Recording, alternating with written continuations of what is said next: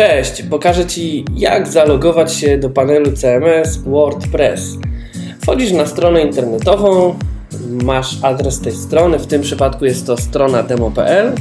Wpisujemy sobie ukośnik i dopisujemy słowo admin. Klikamy Enter. Pojawi się panel logowania.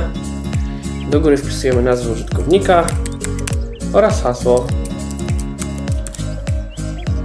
można zapamiętać sobie logowanie na przyszłość. No i logujemy się. Gotowe.